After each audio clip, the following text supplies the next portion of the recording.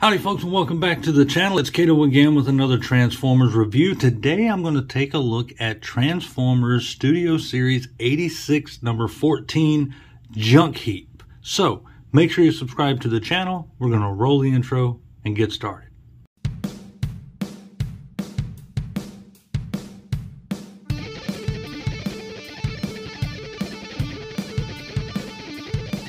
It's Kato!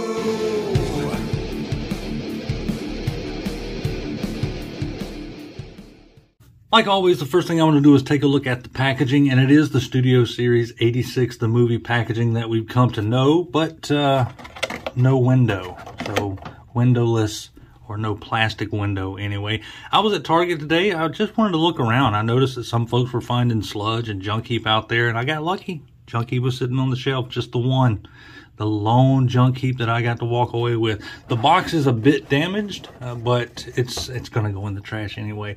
Transformers the movie, 8614 Junkheap, Transformers Generations, Transformers the movie, Junkheap number 8614 with some artwork, Voyager class. Uh, by the way, the price hike is real. Oof, this was $37 after tax US. Junkheap with a, a big screen inspired scale detail backdrop. It's the planet Junkion, I believe, back there. I'm not going to use that either. Backdrop included. Uh, Junkion Dance Party. 22 steps to transform. I'm assuming it's just like Wreck-Gar to transform. So let's get him out of the box. First thing you'll notice when you get the box out is you get another one of the Studio Series backdrops. I don't have room for these. I say it every time. It's going to go in the trash, but it does look good if you have room to display it. You also get his axe weapon. I believe it is the exact same one that came with Wreck-Gar. I'm looking over across at him right now because I'll use him for a comparison. I think it's the exact same one. Spins around like a pinwheel, pinwheel spinning around.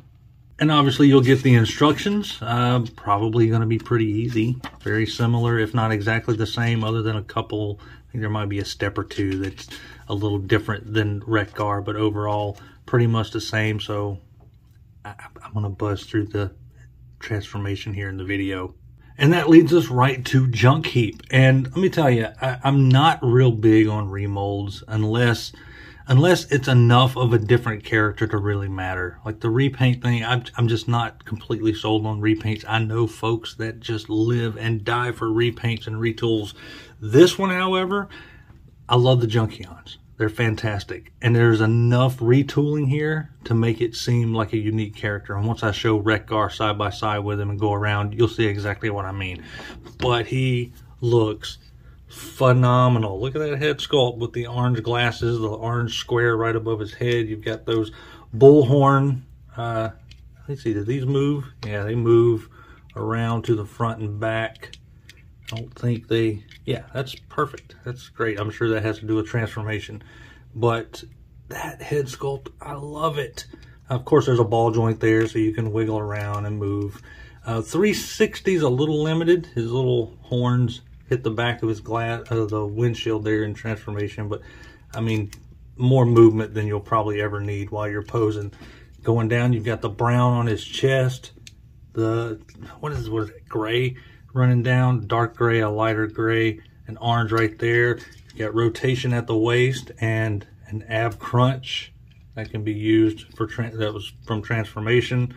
The arms, you've got the orange spikes here. Love that yellow gold right there, brown arms, all that orange here. Side pieces here, which are different from Wreck-Gar, and I'll show that too. It's basically his guns. He doesn't have any separate guns in the packaging, but these are most definitely weapons here on the side. Same thing on this side. You've got spikes and a shield over here rather than a gun. Saddlebags coming down for the hips. You've got legs that are, they are, they look to be the same tooling on the legs, just different color. Uh, the feet are a little different too. I'll show that.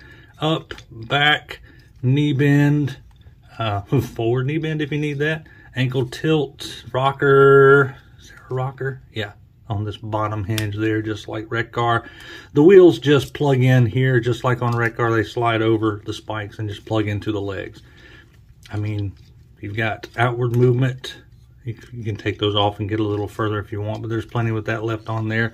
And the wrist, I don't remember. Yeah, we've got rotation at the wrist, but they do not open and close. I think it looks good. I did not have that plugged in far enough, but you saw that work as a weapon. On the back, like that, cleans up nice. Little backpack, but it makes sense with him. Very good looking figure. I like it. Uh, let's do some comparisons. There he is beside Studio Series 86 Gnaw. There he is with Studio Series 86 Kup and Hot Rod. I can't remember what's a Studio Series and what's not anymore, so that's Kup and Hot Rod. You know what I'm talking about. And most importantly, there he is beside Studio Series 86 Wreck-Gar, and that's where you start seeing the differences. So this whole upper chest piece is new. Um, the head is obviously new. Shoulders are new. The arms look, yeah, the arms are new. Of course, the side pieces here on the arms are new. The crotch is the same. It looks like lower body is majority the same, other than the top of his toes here where Wreck-Gar has this little hump. This is flat. So most of the molding from the waist down is the same and the stomach, but the upper chest and arms and head seem to be all different. And I'm sure the back is a bit different too. It looks to be a lot wider than Wreck-Gar. So enough differences to genuinely feel like you're getting a different character.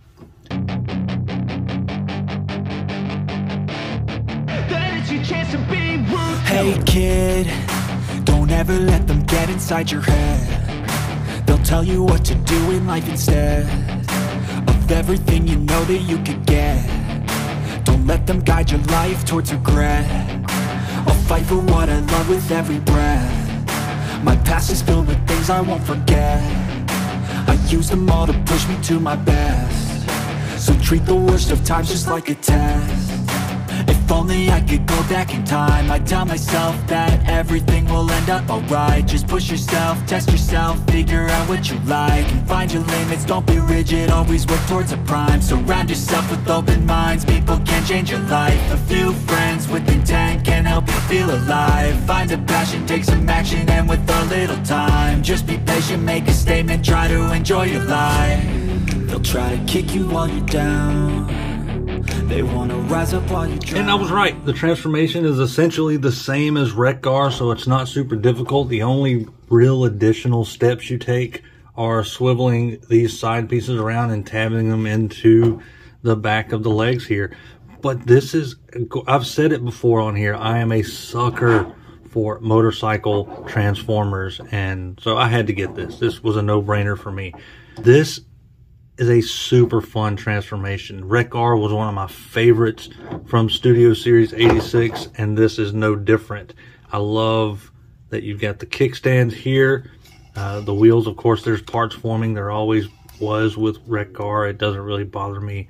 You've got the uh, speedometer and everything, the instrument cluster there on the front that's on the back of uh, Junkheap's head. You can see his little bull horns tucked in here, the head tucked neatly in there.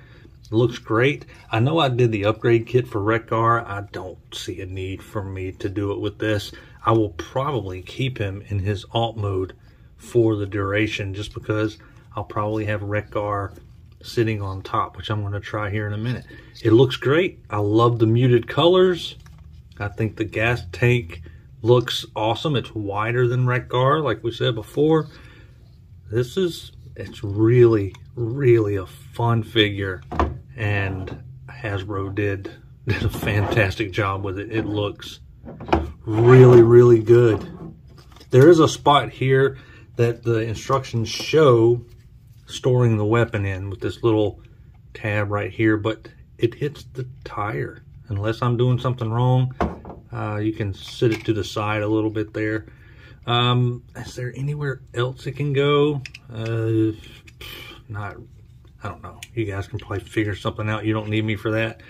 But I'll probably just give it to Wreck-Gar and let him have two weapons. But it looks good. You can see the engine in there. Maybe it could use a little bit more color inside here, but nothing that I'm too worried about. I think it looks looks fantastic. In case you're curious, absolutely, Wreck-Gar can ride Junkheap. There is a little butt tab and butt port there. There's a port on Wreck-Gar and a tab on the seat.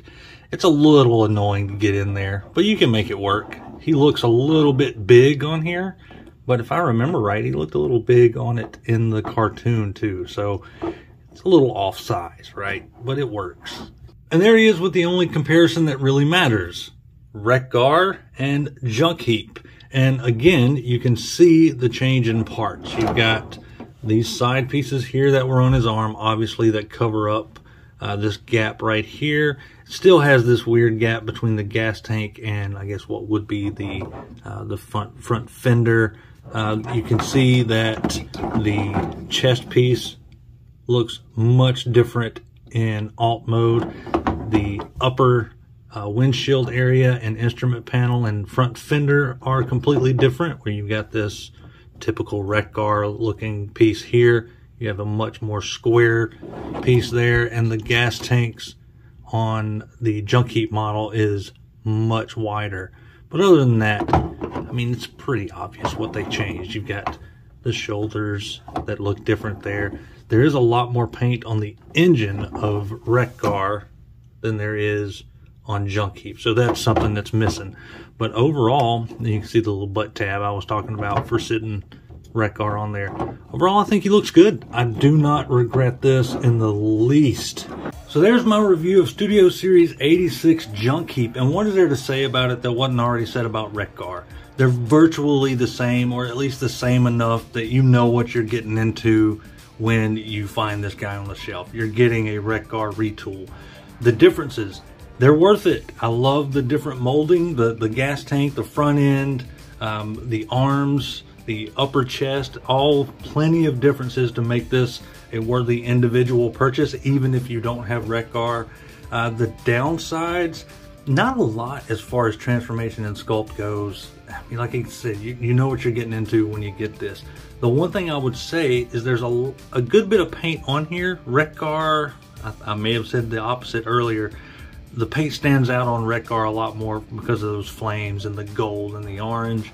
This is missing something within like the engine compartment there. So some of you guys may want to hit that up with a brush or maybe wait for some ToyHax stuff. Me, I'm fine with it. It doesn't hurt me at all. I'm probably not gonna customize this or get an upgrade kit for it. It's gonna sit just the way it is right now for the duration. Guys, thanks so much for hanging out with me. I really do appreciate it. You guys have no idea what it means to reviewers like me and the other guys out there when you take time to watch our videos. It means everything.